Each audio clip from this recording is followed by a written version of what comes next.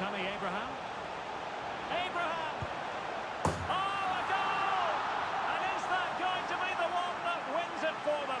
There's every chance, and the fans are lapping this up.